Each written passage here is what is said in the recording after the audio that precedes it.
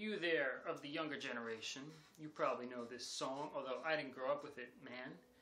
I grew up with the likes of the Ninja Turtles and He-Man. But anyway, this one's called SpongeBob SquarePants. 8530 8530